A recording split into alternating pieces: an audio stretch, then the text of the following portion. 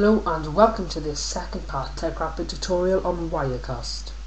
Okay, so now that we know the basics, let's connect our Wirecast software to an RTMP server like Livestream, Justin.tv, Ustream and many more. Okay, so today in this tutorial we're going to be using Ustream.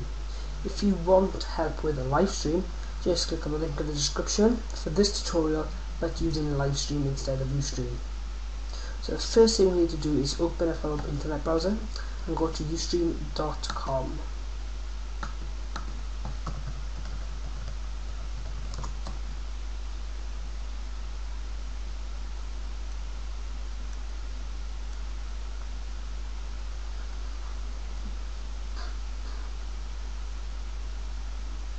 There we go.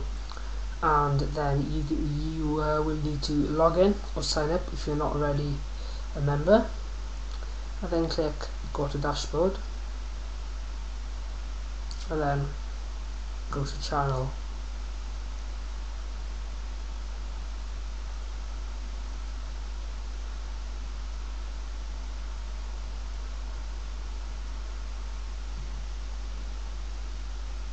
There we go. So next, to minimize that, we need to uh, open up a Wirecast.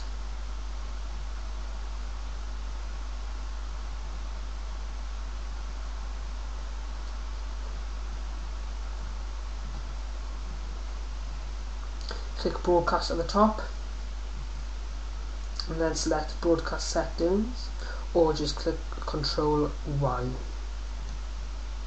Now that should bring up another window like this. Now about halfway down you see a drop down box with the word um, destination. You need to click on that and then select Ustream.